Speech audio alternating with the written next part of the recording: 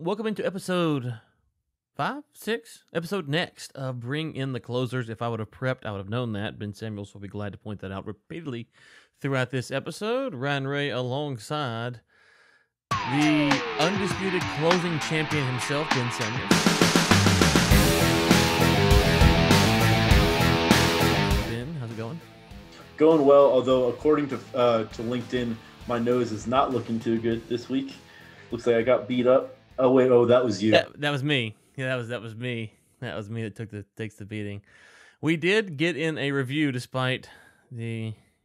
We're we're gonna end this thing. Remember how? Um, did you watch? Is it the Lucy show when you were growing up? Lucille Ball. What was her show called? I love Uh, Lucy. I love Lucy. Yes. Did you watch that? Yes, sir. The question for the listeners is: Are we like Ru- uh, Lucy and Ricky, where on on air we have this great chemistry, but off air we don't even talk to each other? That is the real question of the day. Um, and to be honest with you, I'm not sure I know that answer. I do know we did get a five star review, and so let's talk about that. This is from the Talking Geek, the podcast I most look forward to this year.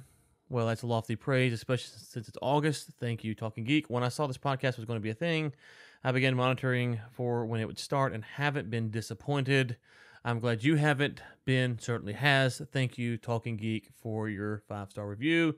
We do appreciate those. They do help spread the word. So a rating and review in iTunes goes a long way. Thank you, Talking Geek, for that. Ben, how disappointed have you been? You know, I was just thinking as you were reading that, Ryan, it's going to be pretty incredible the next time like you and I are at a conference and I meet somebody that you know that I've that I've never met before, and so the only thing they have exposure to is just what they hear you say to, about me on the podcast. I, I want, I just, I'm sitting here wondering, what are these people going to think about about this this character that you've painted? Um, I don't know.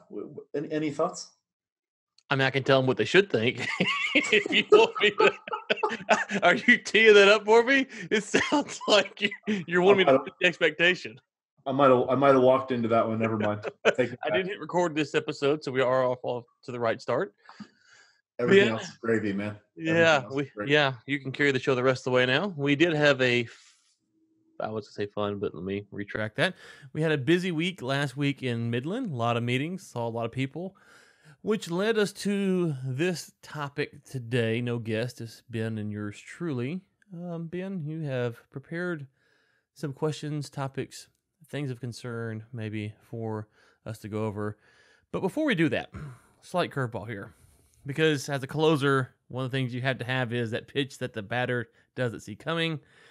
And you sent me a video in response to something I said last week, and it was a motivational video that you said that you you enjoy and you watch, and if you want to, you can share that with listeners. If not, um, I mean, Teletubbies wasn't what I was expecting, but you know, everyone's got their own deal.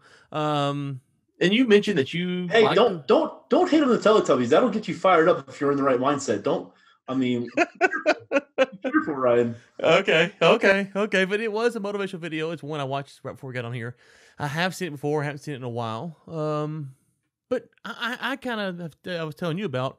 I have a certain motivational tactic that I don't deploy unless I believe it's a super important meeting or something I think will go badly, and just to make sure that I'm not out there, I kind of get this going. Um, so I was just gonna ask you about that. You, you said you watched that video. Um, what was the genesis of that for you and do you actively search for things like that or is it just one that's just kind of stuck with you That one specifically is from actually from a talk that um, a motivational speaker named uh, Eric Thomas gave some number of years ago, um, and I watched it. Uh, you know, again, consistency here. I think I've talked about it on every single podcast, but I watched it first when I was working with uh, vector marketing and doing that. You know, in uh, that portion of sales in my career, um, came across it then, and and uh, you know, just stuck with me. Uh, for the listeners that, that may be familiar with Eric Thomas. Uh, or maybe familiar with the video that I'm speaking about already, you, you, you may already know, but it's titled "How Bad Do You Want It?" Um, and uh, you know, the, the question that what we were talking about was, you know, what, what, like he said, what you know, what motivates you, what gets you fired up, and uh, you know, that's something. It's about a five or five to seven minute video, something like that. Um, you know, that I watch that really gets me in the zone. And you know, just like Ryan said, you know, I don't employ it very often. It's really you know, in my, you know, in a critical situation where I really need to laser in. I feel like uh, you know at the level that Ryan and I execute on a daily basis, we we have a certain level of you know of focus regardless. But this is really to kind of amp it up and take it to the next level. Think you know kind of an intro song uh, to a closer, which is apropos, huh? Hey, wow, wow! See how you. I mean, you're on the next level here. And for those who might be wondering, I turn on ACDC Live. You can find it on Spotify. That is my, if I got to be in the zone, that is my jam to get it going. The crowd, the music, the guitar, it just comes together for me. Anyways, so thank you for that, Ben. Let's get into. Do, do we want to put that uh, the link to the How Bad Do You Want It video in the show notes? You know, only 45 million people have seen it, which is about a third of this audience. So yeah, we probably should put it in there so folks can can see it. Uh, a large portion of our audience, based upon those numbers, probably haven't hadn't seen that yet. So it can go from 45 million to 45 million in two. You're being really generous there. Really generous. okay, so Ben worked tireless. Oh, oh, so I got to ask you this also. Second curveball. I've back to back off speed pitches here. I was thinking last night, and I, am curious your thoughts. This is all honesty. Am I the only person who has a love hate relationship with Sunday night? Like Sunday night for me, and is like it's like the night before Christmas, and I'm like jacked up the weeks ahead. But I can't do anything. I can't go open the presents. I can't go do anything. And so I enjoy Sunday nights, but Sunday night about nine o'clock, and I was blowing your phone up last night, as you know, because I was like just firing. I can't, I can't really do anything though. No one's working, but you know, it's like, is that is that? Am I the only one that experiences that? And I'm curious the listeners' thoughts, but um, what what is your thoughts on that, Ben?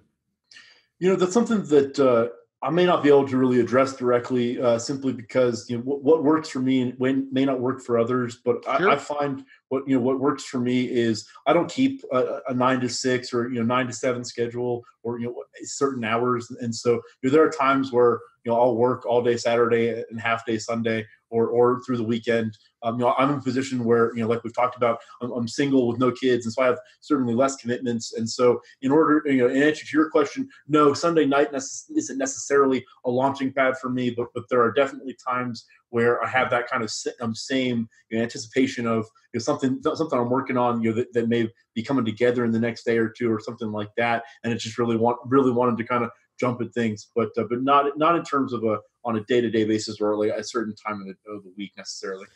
Uh, yeah, I guess for me the the thing is is I know that once Monday hits, there's so many things that will be happening, but on Sunday night I can't do anything about it, and so I'm just kind of stuck there waiting for that to happen. So I was just I was just curious if I if I was alone in that. Okay, Ben Samuels, first question: How many deals is too many, or is it how many deals are too many? It says is. I'm reading the script here. I feel like this is like deal or no deal, or like who wants to be a millionaire. I, is there a right answer? Can I yes. get a 50 50? A one, B a million, C 50, D 327. no, you know, it's. I think it really comes down to some of the things that we've talked about on the podcast um, previously. But you know, what is my role in the deal? You know, if if my role is talking to people on a daily basis and working the, the process and, and being really the, the day-to-day manager of that deal that you know I, I really only have the capacity and, and, everyone only has the capacity to take on so many of those. If it's more you know relatively hands off and someone else that i'm working with is going to be doing a lot more of the front load and a lot more of the front work you know that, that i can take a lot more of that on. And so i don't know necessarily if it's a quantity thing. I think it's more about and what i think about is you know once you kind of get into it you know some people only have the appetite for doing one deal at a time and that's that's totally fine. And if you're executing you know there's nothing wrong with that. Uh, you know it, you probably have to have a pretty high closing ratio in order for that to make financial sense if you're doing that full time but if this is like a side hustle then that's absolutely fine. Um, you know conversely uh, you know i could pull it up here but you know off the top of my head i think i you know, I'll give you a peek behind the curtain here. I think I'm working currently in, in one role or another. I'm working on it looks like about 41 different deals. Um, and so that gives you a, kind of a sense and and you know do I have the capacity to, to add some other things absolutely and so if there's something that I can strategically fit in there you know I, I definitely have the capacity uh, to uh, to bring stuff on but at the same time one of the things that I think you and I um, have have kind of talked uh, at length about because I think that we see it very differently. Is you know when is the right time to say no? What are the what are the qualifications and what are the metrics of that decision? Uh, you know when do you do that? And and also you know I, I think to a degree we've also talked kind of um, been at odds in terms of you know what is the time value of money in the sense of how much am I willing to put into a deal to get paid on the back end or or you know as as like we've talked about on think I on episode three as like a relationship builder. Um, so what, what, do you think about that? Yeah, I was thinking about th- that this morning in this regard. Um, so I want to answer your question, but uh, just just from your standpoint, would you rather work on and, I gotta be careful here because I can make the numbers where it's quite obvious, but so don't hold me to the numbers, but you can understand where I'm going. Would you rather work on 10 deals a year or let's just say 500 deals a year? So you're to close, you're to close, you're to make the same amount of money, uh, but you ha- in, in model A, you have to close, let's say 10 or 20. In model B, you have to close 300 or 400. Which would suit your, your, um, your suitability difference? Because if you think about it from just a, a deal standpoint, depending on what kind of deals you're working on, does dictate the volume, right? Because you could have a deal that's only worth a thousand dollars, um, and so would you rather have quote unquote the big ticket type thing, which are harder to close because there's only a smaller pool of people who could buy those. Um, they take longer usually to get through, more due diligence, lawyers, things like this. Or would you say, you know what, I'd rather be where there's um, maybe not the the vast majority of Americans, but there's more people I can actually take these deals to.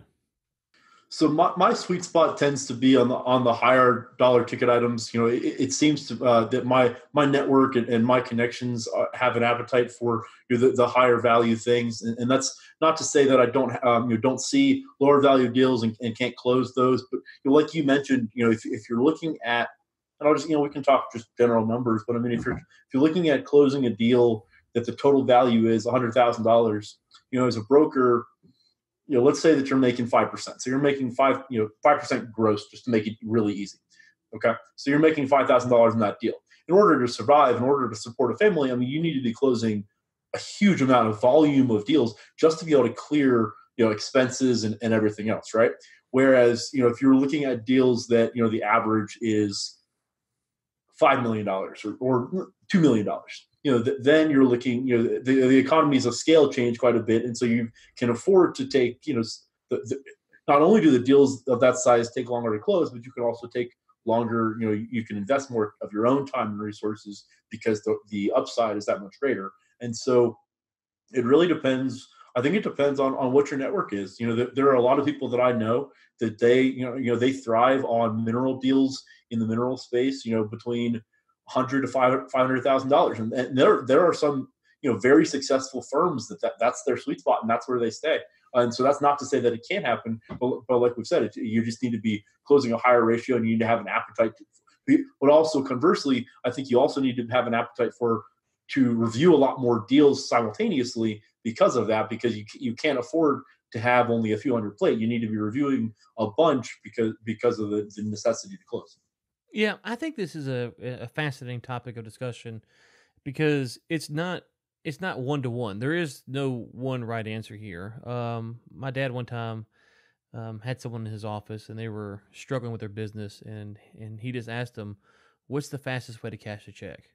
And I thought that was quite simple and yet brilliant at the same time because sometimes we get lost into the you know, if you're in a bad spot, we get we, we think about, well, if I could go land this mega project or go close this deal or just get in with this right person, everything would be better. But sometimes it's as simple as what's the fastest way to cash a check?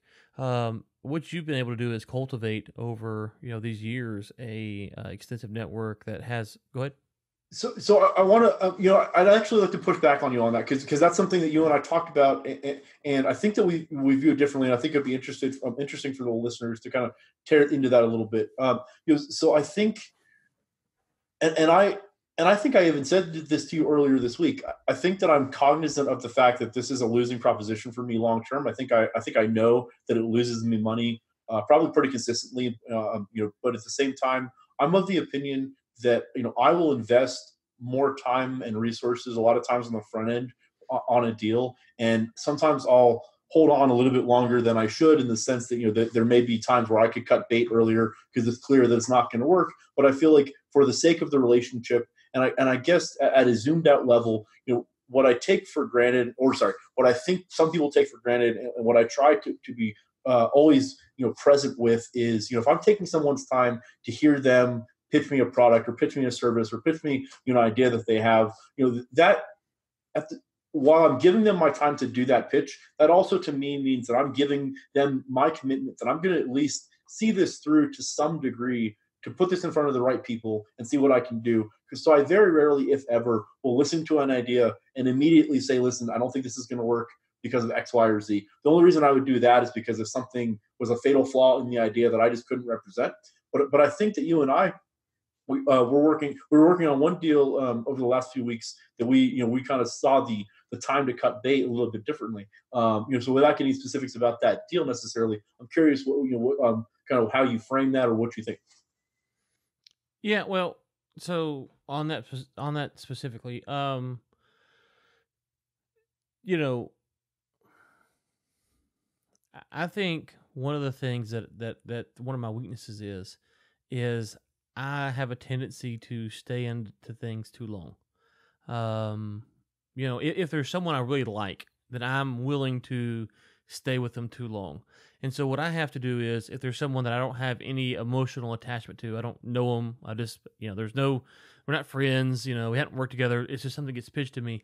I try to buffer myself because I know my tendency is to be caught up into something that's not going to work, trying to make it work, knowing it's not going to work, still trying to save it. So on things where there's not as much of emotional connection, if I don't feel like um, me and that person on the same path, um, and I don't think it's going to work, then then I'm I'm more quickly to pull the ripcord because I know my tendency will be is if I do get to a relationship with this person and we're friends or uh, acquaintances that I, that that my tendency is going to be to give the benefit of the doubt as it is. So if it's if it's somewhere where someone comes to me, I don't know them, they pitch me something, and I'm like, eh, okay, well we might can push it for a little bit, but if if they're not seeing things the same way that I am, then I'm more likely to go ahead and and stop at the end because I've gotten burned in the past by my own doing where I um I sat there and and it's, it's we came friends with the person and then I'm trying to help them and I should have known from previous conversations that we didn't see things on the same path and it's hard to be in the position where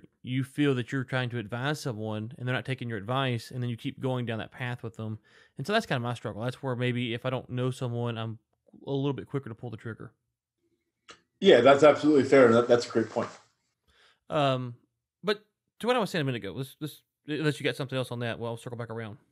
Okay, so on the too many deals things, um, what the point I was getting at is, I think when you look at the volume of deals, obviously the the um, the ticket price, if you will, look at the commission side or, or the fee or the back end or however it's structured, is is is different and usually speaking, the higher val- uh, higher uh, value of the product being sold or whatever, the more lucrative you can make it, the more ways you can manipulate the deal to be in your favor. So if it's a you know a four hundred million dollar deal that you're working on, you can back in maybe a consulting fee, you know whatever you can structure it. Wherever if it's something there's, there's only a thousand dollars in the pie, there's only really get the thousand dollars. You know, um, my caution is is to come out and say what I was getting at was you have a very good network and you've worked hard for that network.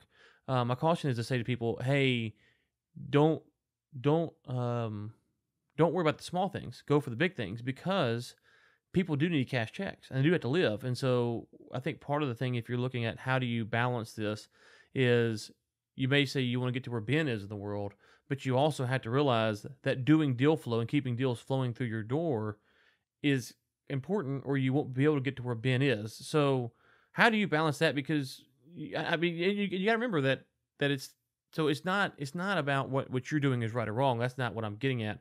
What I'm getting at is how do you walk through that mindset where okay, Ryan has a family of four um, and a wife, Ben doesn't, and that's no judgment on anybody. It's just it's just the facts. Well, my my my lifestyle is a little bit different than yours, and and so if someone's hearing this, they go, "Well, I got two or three kids." Um, is Ben saying I should focus on maybe the more higher ticket items? And to me, I would say, well, if you have that network, maybe so. But if not, you need to figure out how to catch a check by doing deals that are available to you, and then work your way to where Ben is. So one of the things that I, I, have an identified weakness about myself, and this is probably going to be exposed uh, more and more on this podcast, is that sometimes uh, you know when I'm framing something, I'm only framing it through the prism that I can only that I can look through because it's hard to look through someone else's, right? And so to that degree, what I'm what I'm talking about is you know what works for me. So just looking at Ryan and I, Ryan, you and I look at that model very differently. We have a couple of different business proposals that uh, you and I have been talking about putting into action, and we we see the growth trajectory and we see you know the, the way to grow those businesses very very differently and so the, like you said this is not a right or wrong at all uh, you know i'm just uh, you know i was addressing what what's worked for me and what's developed in my network. But don't get me wrong. I mean, on the front end, when I was starting to put deals together, I mean, you know, you, you have to start small, right? You start small, you gain a following, you gain people's trust, and and you you know you kind of you build right. your name, you build your brand, and you and you work up. That it doesn't it doesn't happen overnight. And so you know sometimes I, I do get caught up in the fact that you know you and I have been doing this now for years and years, whereas someone that's listening to this may be looking for like, okay, so you know I'm motivated, but I don't know what I'm doing day right. one and that's a whole different ball game. You know, that's where you're really just trying to you know educate yourself in the market, figure out the, you know the smaller things, and then you know build from there. Yeah, and, and I think the reason I push back so the, the listeners understand is I, I, that's kind of what I know about you, and we don't want to come off, at least I don't want to come off, I think Ben does either, as the guy saying, hey, go get on Twitter and send 400 messages to CEOs and then get one cup of coffee and then your life's going to be great and you're going to be able to close things. There, there, there's there's trajectories in life and you have to work your way through those. And, and real quick before you comment, one of the things I think that, that for the listeners who said that they want to work through this, if they're if they're going for low hanging fruit early, it's a great spot. To, that's a great place to start. It's called low hanging fruit for a reason but also it, th- there's capacity issues and there's certain types of deals being that are probably higher ticket than than I'm dealing with now that at some point I would have to wear suits and I'd have to wear you know nice shoes and dress really fancy and there's probably a certain point for me where I don't even want to go to certain levels because it's not it's not where I want to be at uh, professionally. So um, you have to balance that out where you start at and then you might say you want to be at a certain spot but as you get there and you start working through these things you realize oh wow okay there's certain lifestyle choices I had to make, or I mean, I'm wearing a fishing shirt for crying out loud right now. You know, it's that's a lot more my style than the three piece suit. So, Ryan, I'm curious what you, what you uh, mean, how you'd address this. So,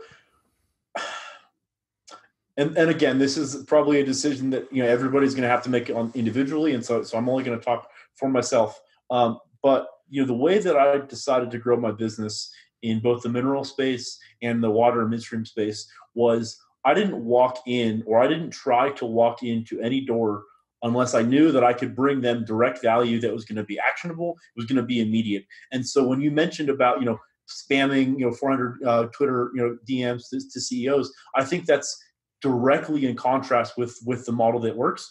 I, I think what's important is when when you decide, or you know, what I have found that works for me is when I decide to take someone's time, I want to make sure that regardless of whether they like what I said, they found whatever I said valuable enough to have not felt like they wasted their time. And I feel like if there's people, if you're trying to, if you're listening to this podcast and you're just getting started, you know, you can't walk into the CEO's door at you know one of the top ten companies in the Permian, right? That that's not going to happen. But that doesn't mean that you can't find the right person to talk to, whether that be you know a lease operator or rig hand or or you know uh, you know mineral owners in the area or you know, you know talk to people at cafes however you want to build your network you, you need to kind of build it organically but the, the point that i really want to hammer home you know, just because you know because of what you mentioned is like i said I, I take that that sense of delivering value really seriously. And i think that that's really what gives you trust at the end of the day because the next time i call that person they know that I'm not going to waste their time and they know that I'm not going to pitch them something that's totally, completely out of their fairway and because I've done enough work to figure out what you know where I need to stay. And I think that's really valuable. Um,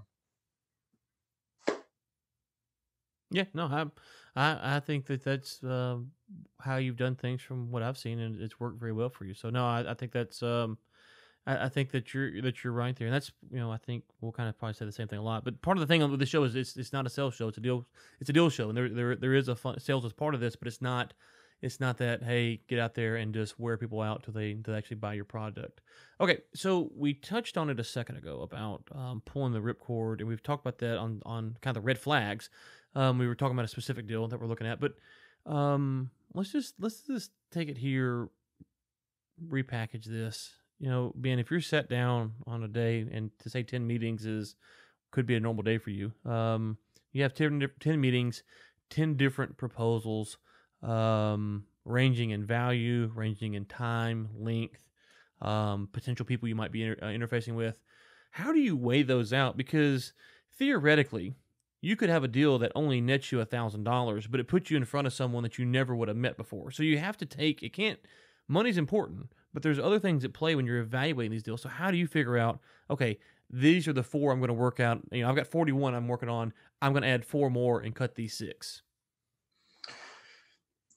One of the things that I think is a strength of mine is, you know, and, and I think you and I have talked about it offline quite a bit. I used to play um, quite a bit of poker, um, you know, and I'm, I still play a little bit. Um, one of the things about poker and gambling is, you know, it's this mentality when the chips are in the middle or when the when you have chips in front of you, it's no longer money. It just represents uh, you know units of value and you're trying to accrue, accrue more units of value. The reason I bring up that analogy is because, uh, you know, and it may sound hollow to some of the, to the listeners, but but it's really, and I think you can probably attest to this because I've pushed back enough uh, enough times. You probably have seen this between you and I. I really don't take into account the dollar value of what the net I'm going to receive on a deal on the front end to uh, that's not that's not one of the things that's in the top of my filter what i mean by that is again i'm really more focused on the relationship and you know, what i'm focused on is what are the chances that this can close and how quickly or you know how much value and how much effort is going to take me to close now you know that at a high level is very true you know if there's a deal that is a home run you know that i'm going to net high six, you know, seven figures on, you of course, that's going to be more on my radar than others. But in terms of a, a you know, kind of a pre-vetting process, I really don't focus on the money nearly as much. Um, you know, I'll, I'll take on. You know, I I worked on a, a, deal. You know, I met with a woman three different times for a total of about four hours um, over about six weeks you know a, couple months back and that was for three acres in martin county and you know my, my net to that after we got done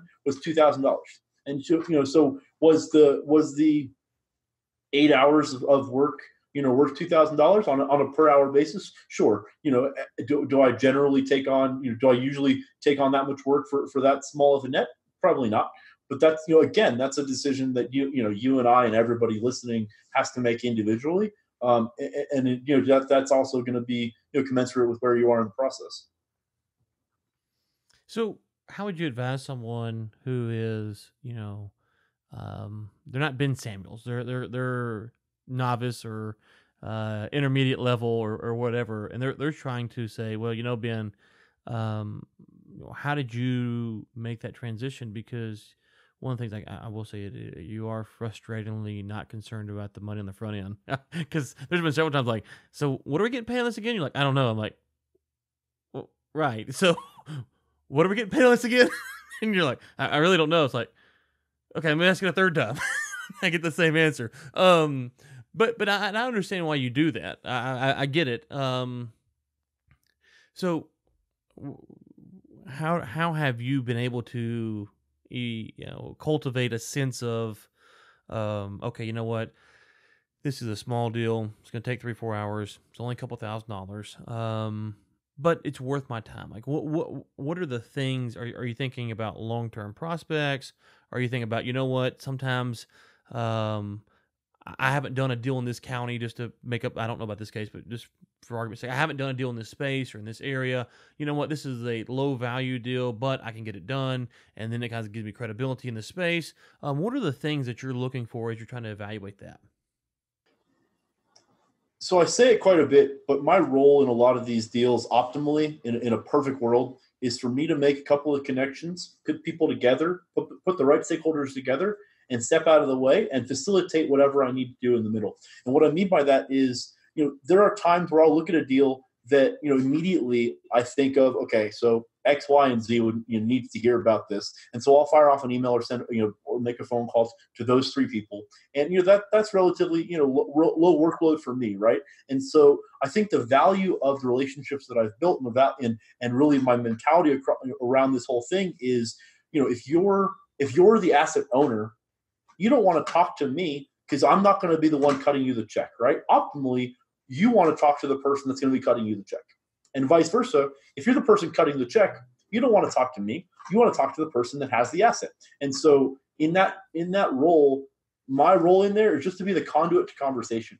And so there are a lot of brokers and there are a lot of deals where the broker takes control of the communication because whether you know whether they don't have a great relationship with one one side or the other or that's just their process or or you know any number of reasons a lot of times i find that brokers kind of take more upon themselves because they feel like they need to do more because they, you know they they want to have control of the asset. Whereas what i'm endeavoring is i want to have enough trust on both sides. And obviously i paper things up when necessary and when appropriate but I want to have enough trust on both sides that I can put the two parties together once the deal is, you know, once the deal is on the financial side is is negotiated, put them together and then step out of the way. And I think you know that that kind of builds my, you know, their trust in me on both sides because it's very transparent. And, and a lot of times, you know, I have a standing agreement with the buyer for a fee, and so the fee and, and my cut uh, in the deal it doesn't is not even in part of the conversation because it's already predetermined. And that goes back to what we talked about in episode one setting the expectations. Yep. See i, I like to think of it um, one of the things that, that really factors in for me is is does this give me a new um, entry point into a certain space or into a certain area or something like that? So you know, the South Africa stuff, uh, which I've been working on for quite some time, is very important to me because it, it allows me to legitimately say I've I'm an international, I've done deals internationally, and on some level, there's a lot of people who have done stuff like that. Um, but but I see you shaking your head. No, but well, but they work for big companies, is what I was gonna say. There are a lot of people who work for huge mega corporations who have gone and done stuff internationally. On a practical level, but there's there's few I would argue that if you execute what we're talking about, if we get this done, I think there's few that would have executed that. I, that's yeah, that's where I was going. That's where I was going. So the, what distinguishes myself is that, that I've been able to go and do this um, uh, apart from having a multi-billion, hundred million dollar corporation behind me. Um, and so there's a lot of pride in that. And and and when I tell people who deal in the international space, they they can understand and appreciate that. Um, when I think about dealing with the fighters and managing those guys, I enjoy it. Um, my guy Quentin won this weekend, so shout out to him. Um, but um, and, and a side note, I mentioned this on um, on LinkedIn, but the the president, uh, the CEO of Bare Knuckle Boxing, is going to come on and talk about the deal that he closed. It's going to be, I think, a pretty good story. But anyways, you know, if, if I want to diverge into the sports agency business, I, am a legitimate sports agent. I've negotiated sports contracts um, for fighters, and so that opportunity, while it's not making me any money, um, I spend more time than I make because I'm literally not collecting any checks at this point for it uh, by, by my own choice. But if I want to be in, I wanted to go to be a sports agent, I have now the platform to do that. Where is if I said, you know what, I'm gonna go to the NFLPA or the MLB or, or NBA or whatever and get my certification and then go try to solicit, it, it would be a little harder. This actually gave me the in through someone I knew who believed in me. And so I, I look at things like that and say, you know what, there's a lot of value. If there's value that can get me into a space or get me in front of people um, that it hasn't before, sometimes that I'm willing to take a lot of risk on. I take I've taken a lot of risk, if you will, as far as time goes with the fighters because it's not even if I was collecting from these guys because where they're at, they're not making a lot of money. I wouldn't be making a lot of money. But if it's something I really decide I want to build upon, I have the potential to do it, and I've been able to uh, put a little resume out there. Um, whereas if I wanted to just go cold turkey and get into that, it would be really hard to it'd be really hard to do.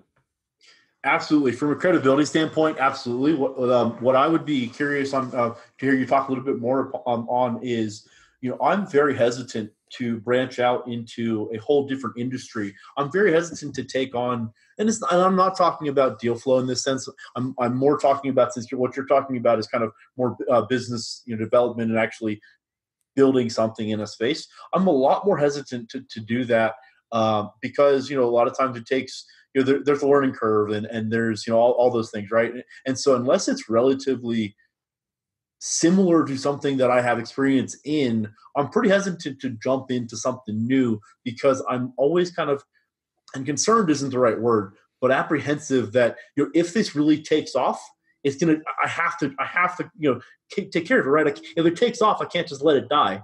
And so, you know, do I have the ability to let it take off and divert my attention, or is that too far off course with what I already have going on? And so, you know, to the listeners, uh, you know, there's there's kind of this give and take of to to a degree. I think there's a sense of you can have too much success in the sense that if you put your hands in too many things and they all take off at once, mm-hmm. you might be left you know swimming. And if, if that happens, you know your ability to deliver value in each of those pies may you know may fall away. Yeah, no, that, that's that's a great point. So. I can kind of break down the, the two separate things this for Vantage Point. The international stuff is a very slow moving wheel that's taken years and different avenues to try to get to.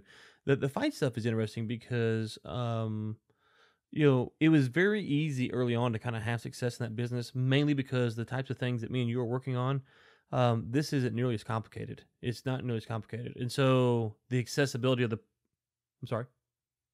The accessibility of the players, the promoters, to try to get involved with them, um, and to figure out what they're looking for is, is is is actually pretty easy. And I didn't know that going in. It's just I got the job and started going after it, and I found okay, wow, this you know this is a lot easier than what I do a lot a lot, a lot of times. Now I've been doing it for probably I guess two years now, and I found that to grow the business, I mean you've talked about this offline some, to really grow the business is going to take a substantial probably amount of my time. Going to tweak the way uh, uh, the way I do things and this that and the other. So I've got to decide if I want to do that. Um, but and, and I don't know how to say this, but to say it, but I did find that it's if you want to put your mind to it, there's a lot of money. there's a lot of money to be made, and the entry point is pretty low. And there's a lot of ancillary benefits that I think if you can scale that type of thing up, you can actually do. Um, I know you said it's kind of business development, and it, it is, but there's also a lot of deals because you're negotiating contracts. Um, you know, you're trying to sign fighters and negotiate terms with them. So it's and, and, and when I first got into it, I, will be honest with you, one of the things I thought of, I had several guys fighting over over the course of a weekend, and I made like four or five hundred bucks. And I was telling someone about it, and they're like, "Oh wow, that's not a lot of money." I said, "You know, if I told you I had a rental house and it made four hundred bucks this weekend." Uh, this month, you would think I'm cash flowing, baby. It's the greatest thing ever. And I got guys who are going out fighting, and I'm not. I'm not getting punched or anything, and I made four or five hundred bucks. Now, four or five hundred bucks, obviously, in the grand scheme of things, isn't a grand in, in a ton of money, but it is interesting when you stop and think about how we view income coming in. And you've talked about this this singles concept. Well, that's like a a, sacrifice bunt. it's not even a single, but but but we talk about low hanging fruit, talk about getting into places, stuff like that. Um, I think that, that sometimes folks kind of limit where they can go. If you have the true the, the skills to kind of navigate, to kind of talk, to negotiate, there's probably a lot of spaces you can actually be successful in. It's having someone letting you get in um, and validate you at that point of entry is really the key thing. And that's what it was for me with the fighting stuff. I wouldn't have been in it if this, someone else validated to me a certain fighter, and that fighter who fought this weekend uh, gave me an opportunity.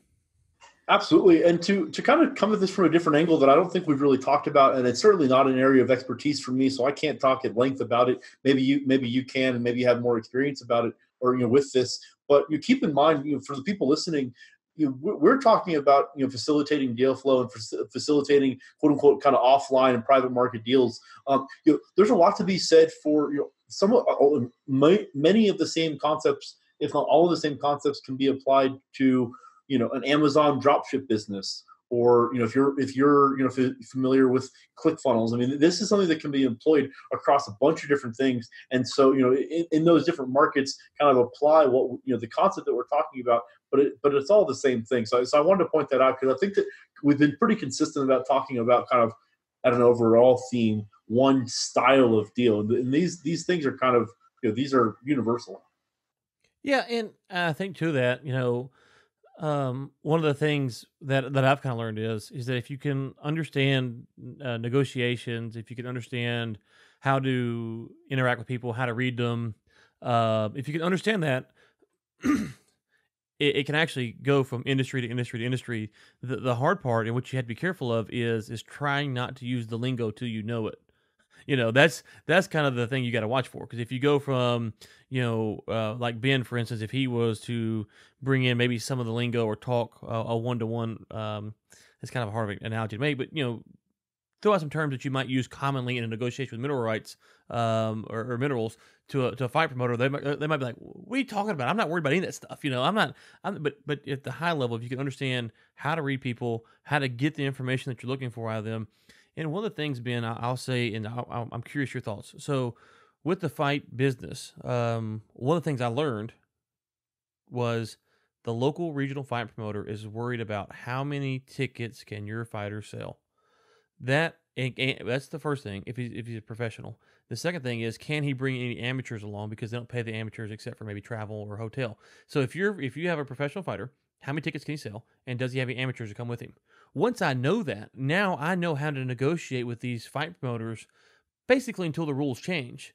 Um, but that comes from being able to listen to people, ask the right questions, probe for information. Why don't you want him on this card? Whatever the thing that things might be. And that's as you're saying, that works in a lot of different industries. That's just that's just talk about closing a deal. That's part of closing a deal is learning to develop those skills. So for me, one of the ways I learned to do that was I started going on sales meetings, and I just kept being told the same thing over and over and over again um, by clients that they were frustrated with this, frustrated with that, looking for this.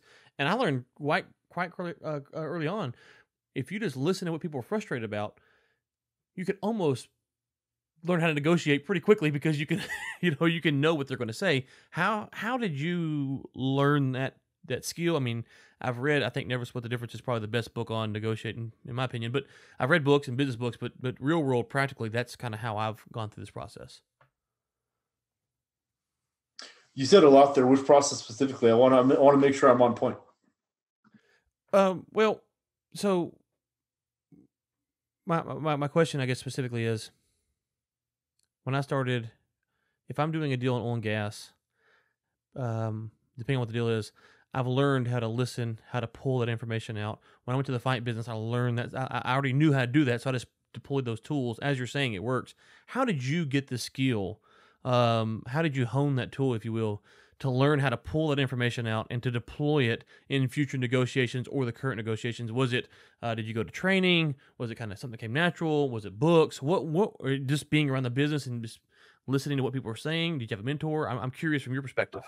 It's a lot. It's a little bit of all four of those. Um, in addition to that, you know, I'm I'm always seeking out knowledge. I'm always trying to learn. I'm, you know, actually, before we we, uh, we uh, started recording the podcast, I've got uh, four or five different articles on on slurry injection wells up. I'm, I'm reading through that because that's something that uh, that has become more and more popular in the Permian Basin, and so that's something that, that I'm trying to make sure that I'm keeping on top of you know what's happening and, what's new. Um, in addition to that, when I was first starting out, and this is something that I did even starting in undergrad, is you know I, I would message someone, you know, whether it be a LinkedIn or or what have you, uh, and ask for you know 15 minutes of their time and, and and say listen you know i'm trying to get into the space. I'm trying to learn x y and z. I have and then you know have a couple three specific questions. I have these questions.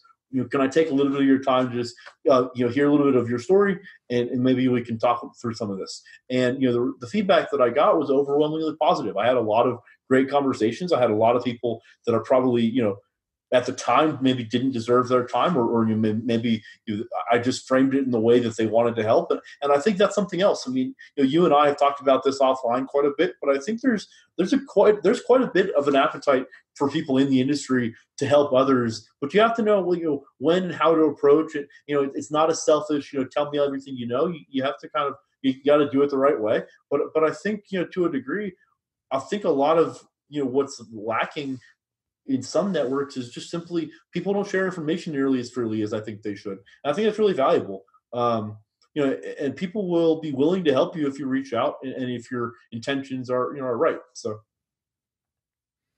okay, so let's move on then. Unless you got anything else on that.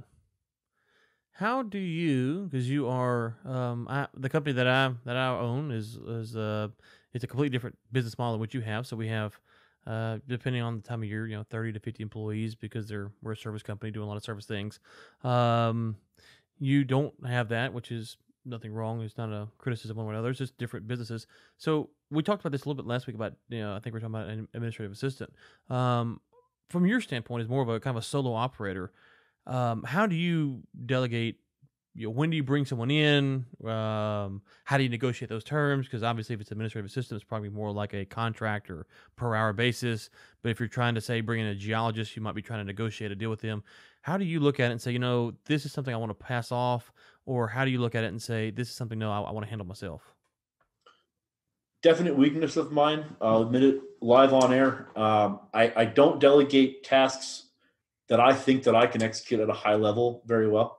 What I mean by that is there's a lot of times where I take on a lot more work and I do it personally simply because I have a and I'll freely admit I have an exacting standard and I have a very, very, very high level standard for due diligence work, uh, whether that be you know formatting or, or you know how it's presented, how the information is is uh, you know is torn through. And so there's a lot of times where i'll do a lot more you know than i quote unquote should but that's just something that you know that, that i navigate around. Um, outside of that i do have a, a, pretty vast network of contractors that, that i contract out to and i have you know, varying uh, levels of of relationships with um, what I'm looking for, or what I look for mostly, is and I think I put something on LinkedIn maybe about six weeks ago, uh, looking for for some additional people, and I and I got a number of responses. I'm looking for somebody that's comfortable working, not necessarily all for, but you know, if he's comfortable working for upside, comfortable working for equity. And the reason I look for that on the front end is because what that tells me is that they think that their value that they're bringing is worth that. Because if somebody's coming to me and is just very hard line and I need a day rate and that's it. That's not a negative at all, and doesn't mean that I don't employ people or you know or contract people out like that. But that's you know that's not necessarily if I had you know if I had to pick one or the other, I'm going to pick the person that's you know, comfortable working for equity only because again that tells me that they're more comfortable in their work and, and uh, you know and what they're bringing to the table. Um, and again, that, that may be an unfair characterization. I'm not saying that that's blanket across everyone. That you know that definitely speaks to my experience. Um, well, yeah, I guess I would ask, like, how do you? So you got to think about this. So you have your network now, and so the people that you know on various levels, and so it's a little bit easier. Um, they they have some level of trust with you. But when someone's coming in who doesn't know you, um, I, I understand what you're saying. Is there is a sense in which, hey, um, you know, I, I can deliver, therefore being unwilling to take the risk with you. But also, how do you walk through it with the person who might be willing to do that, but they're like, you know, I don't really know Ben. How do I know Ben's going to come through? Is it you papering up with them? How do you maybe rest assure someone who goes, you know what, Ben, I would love to do the backside stuff, but I, I really don't know you quite that well yet. Absolutely. Um, number one, we, we do have you know service agreements that, that address that, and you know all, all the compensation is clearly lined out.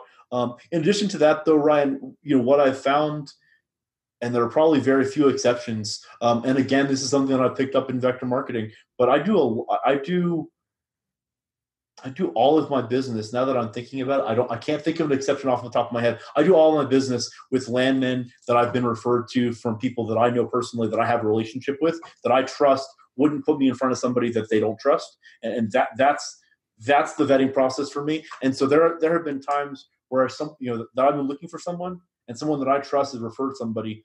I don't even interview that person. I simply send them a contract and say, review this. If you have any questions, let's talk we you know then they, they you know then we have a conversation about hey this is what i'm looking for. And then without meeting them you know day two they're on a project because because i have that level of trust and that level of relationship with, with the person that brought me to them. You have a face like you want to say something. I'm curious. That's how you got stuck with me. I'm surprised you still use that method.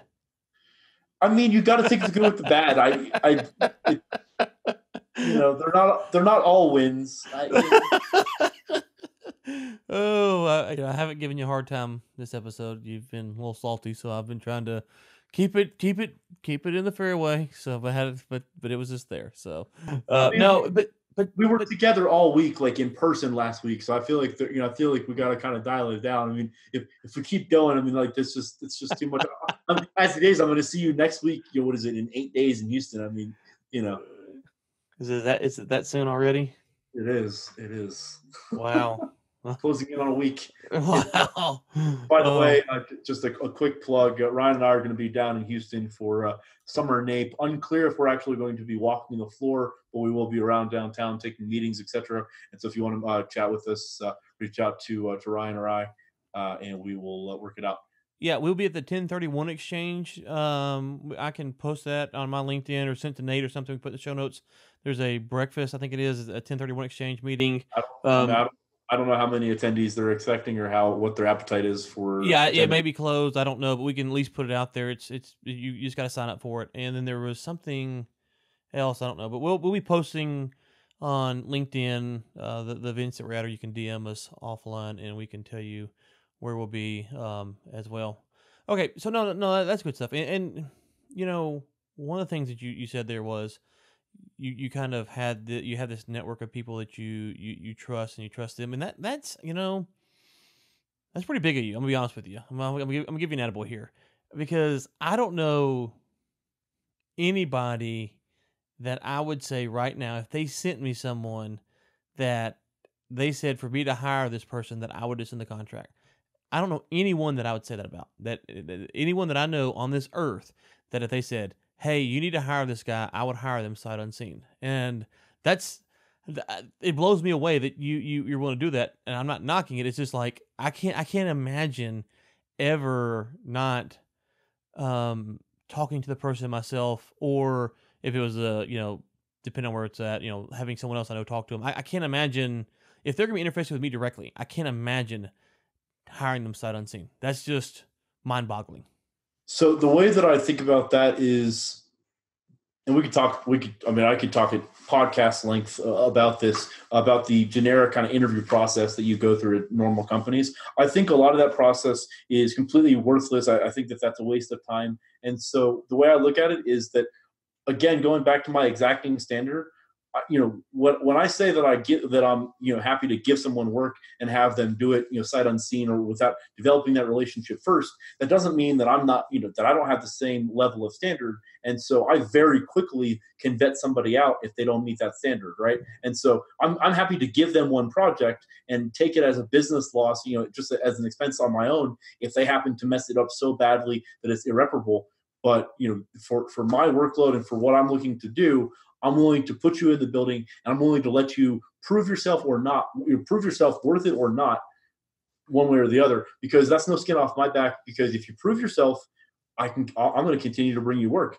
If you mess up the first one, I've got I've got a very sh- short leash, and I'm going to cut you. Whereas if I was looking to like hire somebody and I went through an interview process and all those things, you're investing a lot of time in that person, and then if you're training that person, that's even more time. And, and I think that a lot of times, and again, you know, this is something that we could talk about offline or at length. A lot of times, companies, you know, you'll find employees or or, or contractors even that are there for the long term or there for a long time only because they're like so entrenched in the process it's like it's hard to pull them out and you've given up so much resources to like train them to do what they're doing that it's, it's hard to divorce yourself whereas I, I like to have the relationship be a lot more fluid in the sense that you know i can very quickly and i think you and i are probably similar in this sense i can very quickly figure out if somebody's going to cut it or not whether that be you know they can't move the pace that i'm moving at you know right. and, and, i mean there's a number of people that, that i've worked with in the past that do phenomenal work but the pace just the pace and the workflow just didn't marry up. And so you just kind of have to find the sweet spot but it works a lot better for me because you know you asked me last week if, if i wanted to do something and i think my answer was absolutely not. I have no interest in being a, you know a manager. That that's that's not my you know, that's not my fairway. And so to that point you know i don't have any interest in having a number of employees that i would have to you know, oversee on a day-to-day operation at this current time in my business because that's just not what fits best with my workflow and with what I'm trying to achieve. Interesting. I guess for me, I um, the people that I do work with um, is a pretty small group that I have to interface with, and so when I'm thinking of this, it's you know um, obviously working stuff with you and a handful of other people, and those people I'm in contact with pretty regularly. Um, so when I'm thinking about this, I'm thinking, okay, I'm gonna be in contact with this person pretty regularly. Um, I, am not so, sure. And maybe we're, maybe we're talking about one to one, and that could be part of the, the, the thing here. But no, so, let me no, let me flip it around for you because something that you said to me last week really struck me, and I think it's the same just on the other side of the coin. Um, you uh, we were you were working on something, and you know there was there was a point of contact at the vent uh, at the vendor and uh, you know, for what for whatever reason you weren't familiar with him, you didn't know his name. That was something you were totally divorced from, and I find that fascinating because for, for me, I wouldn't be able to do that and it's because you're delegating so much task and responsibility off to someone that is sight unseen from you that you know, uh, keep in mind and i'll say this for the listeners um, you know in my workflow even the stuff that i don't do I'm still touching everything. So if somebody sends me a title report or someone sends me something, I'm still touching it because I'm looking through it to make sure that it meets my standards, and then it goes out the door. And so, but you have you have a model where you have people that you have entrusted to take the full stack of work and give you reports when necessary but not involve you in in any of that that day-to-day process flow and i find that fascinating because that again going back to what i said when we started this question that's a weakness of mine because that's not something that i would be comfortable doing in my current model yeah. Okay. Well, I would love to explore this more. I don't know if we're going to have uh, time on this episode, but no, it's definitely something we need to put a put a pin in, as they say, and explore it because I, I'm curious. I'm always curious why people like you think like you think, and you're probably curious why I think like I think. So it's you know, lot, make, not just well, about that, about, okay, about a lot of things. Uh, okay, well, okay, fair, fair, enough, fair enough. But no, it, it is interesting because um, you know, I the short answer is um, I can give you an example. We were working for Chesapeake uh, back in the Haynesville Shale days. And at the time, we had um, four, we kind of at R Global kind of measure things on survey crews. We had 14 survey crews running uh, for Chesapeake, and we had two meetings, one on Tuesday, one on Thursday, and they would go all day, literally all day. So my week would be first half of Monday, I was kind of getting my head wrapped around stuff. Second half Monday was prepping for Tuesday meeting. Tuesday, all day meeting, not be not being facetious, all day meeting. Wednesday, come back, debrief the first half uh, Tuesday meeting for the first half Wednesday. Second half of Wednesday meeting, I would brief for Thursday's meeting. Go Thursday, come back Friday, try catch a breather, catch up, and then Saturday would you know catch up on stuff, and then r- rinse repeat. And I could keep up with all of that. It was not a problem for me. And then one day we got behind on some plats, and I stopped and I started to get in the weeds in the plat. And they called me and they said, Hey, what's going on here? And in those two or three hours, I had been working on that one problem emails, things. Pro- and I realized at that moment that you can be in the weeds or you can be out of the weeds. But to fluctuate in and out is very, very hard thing to do. And I'm not saying you can't do it. I'm saying that for me, I can handle a lot of information at a high level, move pieces, direct, push things, um, you know, bring this in, send this out, spitball this, let's think about this, what's going on here. That's very easy for me. But if I get in the weeds and I got to come out, I, I could have lost potentially what was going on because of, of various things. So I'm going to say it's a weakness. I don't know. It's just that that moment. And so what I what I told my team was I said, hey, I can't do this anymore because if I do this, literally the email is just going insane. There's things that are just changing so much. Um, and so I've really tried to keep that model. Now, if I'm working, so if I'm working on a project or a deal, I kind of want to be at a certain level that allows me to kind of watch things, help steer, help guide, help direct. Um, but I can get lost in in in the minutiae very easily, and the next thing you know, I have I come out of it and I don't know what's going on in the world. So that's I don't know. Maybe you said it's a weakness. I don't know. I'm curious your thoughts on that. No, absolutely, and that's that's super valuable. What I would say to that, and it's probably a generic answer, and, and, and may not be wholly accurate, um, but I probably I probably make up uh, for that by just working those extra hours. You know, and, and going back to the fact that you know, you know, I think you really, and it sounds it sounds how it sounds, but I mean, you know, if I have you know no girlfriend or wife and no kids, you know, that frees up how many hours a week of my time, right? And so my focus is my business. And so I probably just take that offload work that I could delegate to somebody for working 40, 60 hours a week and I do it myself. Um, but I'm also more efficient than, than someone that I'd be delegating to, right? And so if somebody else is spending 60, I'm probably only having to spend 30. Um, but it's, it's just one of the, like you said, right. it's a business decision I've made. It's, it's not, it's not a right or wrong. Right. And, and we, we should be clear here the the difference would be is the example that you're giving is on something that's having uh, on that particular thing. You know, I've got a couple of salespeople that work for me, uh, project manager, director. I've got a lot of people with a lot of moving parts on a lot of different projects for a lot of different clients, and so it would be almost impossible for me to sit down and manage all of those people at a very tight level. I need I need the, these these are only the handful of people that I really trust. Like I said a minute ago, it's not everyone that gets this responsibility. It's a handful of people that I really trust, and those are the people who I know that they kind of think like I think. They kind of do things like I want to do, and therefore I don't feel like there's they have skill sets that I don't have, and I have weaknesses they don't have. But but I also feel like it's part of an extension of me, if you will, than it's just some separate person. But also, I mean, you know, at a very core level, at a very base level, you have an, a business model that implores you and, and, necessitates employees. I don't, and so I mean that's yes. that's also something. I mean, you know, you you would not be able to do what you do without employees. Whereas, you know, while it may stem exactly. the tide sometimes, and I may go slower at times, it's not a necessity for me to have. No, no, no, no. It, that's very important. So for for those types of things, it's definitely a necessity. I wouldn't deal with that business if I if I had to do it myself. It just wouldn't. It wouldn't be lucrative. It wouldn't be worth my time. It wouldn't be you know it wouldn't be things. So no, there's there's definitely differences. Um, I think one of the things on the show we, on this episode we've kind of talked about is, and I hope that it comes across to listeners is, we're trying to give you the spectrum here of uh, of things that are going on. How do things work? How do we see things? We don't have to agree on everything. There's not always a right and there's a wrong. There there's just a lot of different moving parts and sometimes stepping back and, and realizing where you fit in that process if you have a mentality like ben does where you really want to get in the weeds and you really want to do it yourself and you really want to grind it then you want to go and you want to do that. Don't let that hinder you um, by trying to do things maybe a little more like i do. Or if you're more like me may, or somewhere in the middle or not like any of us. I think that's kind of the thing. And, and today ben we've had it at least once or twice we said again.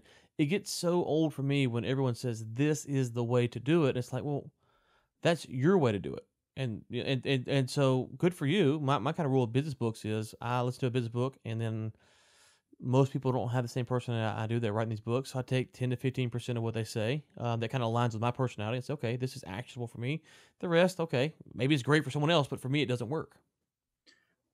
I would go as far as to say that it's possible that somebody could listen to all six of these episodes and, and listen and continue to listen and do everything in opposite of what we talked about and still find success. I mean, there, there's not there's not one model to, to do this. There's not one way to put this together. No, definitely not. Definitely not. Okay, well, we are up against the clock here.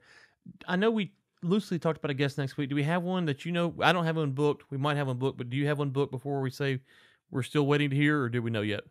Well, we don't have one booked yet. We're still waiting to hear. Um, okay. may, may need to be the week after Nate. Still, still haven't been able to confirm. But. Sure.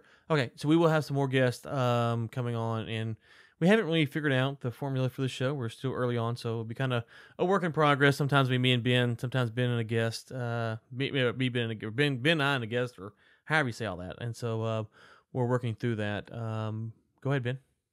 So one thing I wanted to mention: um, anybody that's listening that's connected with Ryan and I on LinkedIn, um, if you could come to my defense on these posts, it's kind of it's getting.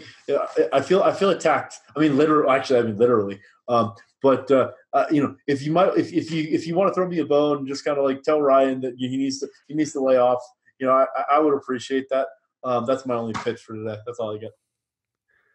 I will I will back you publicly if you will tell them how you treat me privately.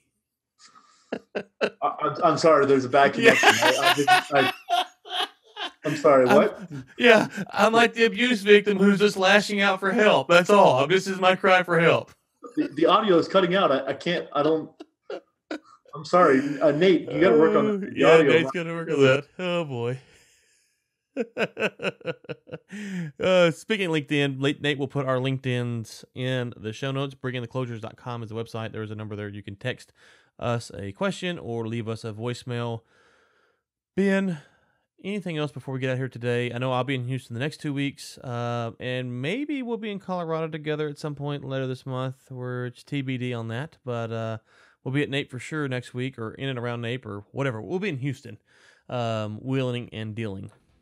I didn't even know you were following me up here. Uh, that, that's I feel like three three weeks out of four is too many. I feel like we should we need to have a conversation because um, I'm seeing you like three weeks after that. Anyways, this this is it's, it's, it's moving along too quick.